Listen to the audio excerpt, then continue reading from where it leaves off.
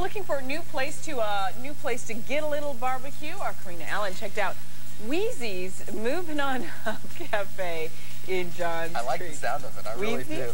Yeah, this is one place where you can eat on a budget and enjoy a walk down memory lane. Take a look.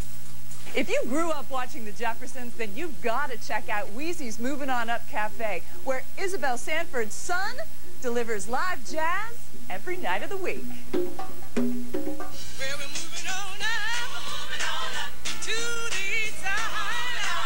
Everywhere you look, there are tributes to the television icon. But these pictures my mother had at her house. And I just used them. I brought them up here to show people.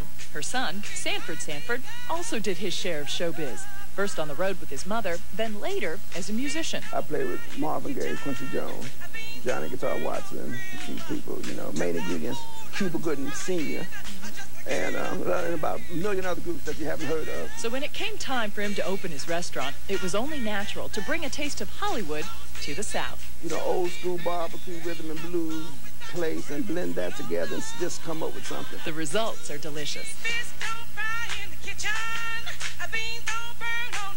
The average price for an entree is $10.99. But for a family on a budget, Sanford says a $22 rack of ribs will feed four people. Still, the taste may make you want to eat it all yourself. For Better Mornings Atlanta, I'm Karina Allen. That did look good, didn't it? Mm, yeah, you can find Weezy's at uh, 1020, oh, 10, That's see when they Yeah. get to ten thousand something. It's hard. 10270 Medlock Bridge Road in Johns Creek. Too many numbers this early in the morning. Hey, before we head out to a break, let's take a look at today's